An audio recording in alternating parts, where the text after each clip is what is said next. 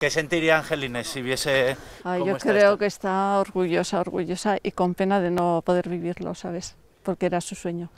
Porque había que conocerla, ¿eh? Sí. Era una persona que No, te pero era muy abierta. enseguida Sí, sí. como si fueras del pueblo, como si fueras su amiga exactamente. de toda la vida. Pero esa cualidad que tenía Angelines la transmitió a todos. A todos. Que parece que no, pero se avanza. Con muchas manos se avanza, se avanza. Es un pueblo que tiene dos casas, y la única calle la que divide Casa Ramón y Casa Mayo. Hace unos años eh, la, la maleza había ido cubriendo estos campos y Susín había ido desapareciendo un poco de la visión de la carretera. Es un gozo el que se vea nuestra obra. Y la unión que existe entre nosotros eh, perdurará muchos años.